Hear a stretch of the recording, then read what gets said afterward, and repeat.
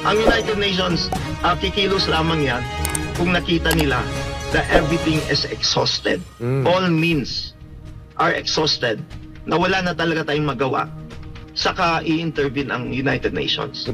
You were part at bahagi tayo ng paglalakbay to bring to the attention of United Nations, at least sa UN High Commissioner for Human Rights, which we are about to do formally doon sa Geneva, Switzerland, sa kanilang UN General Headquarters.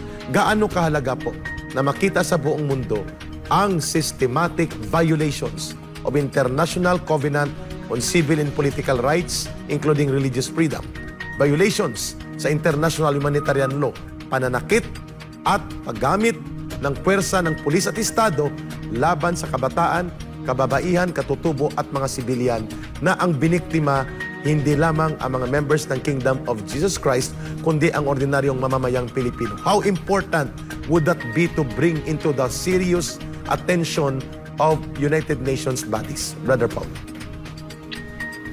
Oo, di, di, ah, magkasama tayo last time, di ba?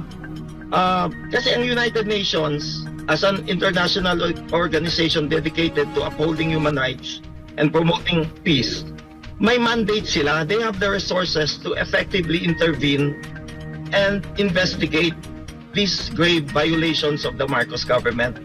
So, you know, by going to them, by, by utilizing the mechanisms of the of the Human Rights Council ng ng mga special rapporteurs of the UN uh, we can bring that to light not only in the Philippines but you know all over the world Mm. and maka-intervene talaga sila the, United Nations as the international body actually can hold the Marcos government uh, accountable and responsible for these abuses Yeah. na nakikita natin Mhm.